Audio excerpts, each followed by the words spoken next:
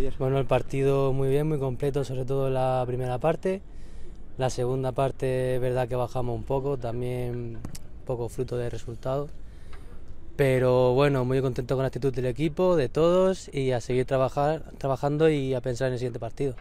En lo personal, eh, dos meses después volvías a pisar los terrenos de juego. ¿Cómo, cómo ha ido estos dos meses? Eh, ¿Cómo te sentiste tú físicamente en el partido? Bueno, los dos meses han sido duros, duros porque parecía que me recuperaba y después no, bueno, un lío. Pero bueno, al final, al final bien, en el partido muy buenas sensaciones, la verdad. Y nada, a seguir trabajando y a ayudar en equipo a lo que necesite. ¿Cómo han sido estos dos meses con lo- los fisios, el cuerpo técnico, los compañeros? Supongo que todos habrán apoyado. Sí, todos, todos apoyan. Aquí lo bueno del equipo es que todos nos apoyamos, en las buenas y en las malas, y eso es lo que hace que al final el equipo esté arriba. Eh, el hecho de repetir lo de Villacañas es lo que eh, se debe evitar. Sí, bueno, ah, tenemos que tener bueno, el, ejemplo de todos los partidos de la temporada que hemos estado luchando, el ejemplo de Villacañas, que como ya vimos generamos, pero al final no, no culminamos las jugadas con gol, y también el ejemplo de, de Illescas, que la primera parte bien y la segunda no tan bien.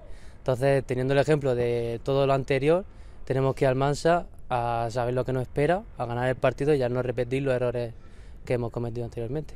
¿Crees que el equipo está en el mejor momento de la temporada o crees que todavía hay margen de mejora? No, todavía hay margen de mejora, todavía hay bastante margen de mejora.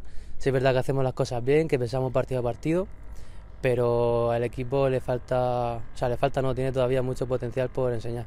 Vimos que el partido contra el Illescas, primer minuto, eh, gol de estrategia, del 1 al 10, ¿cuánto le das de importancia a la, a la estrategia en el día a día, sobre todo con Achari, un técnico que se caracteriza por la, por la estrategia? Bueno, pues la nota de la estrategia tiene que ser un día en todos los partidos. Al final en tercera sabes que vas a un partido pues como a un, a un campo como el de Almagro, un campo así de césped artificial pequeño y sabes que al final la, la estrategia es lo que, lo que al final abre muchas veces el resultado y lo que da paso a poder jugar a gusto con balón. Muy bien, muchas gracias. A ti.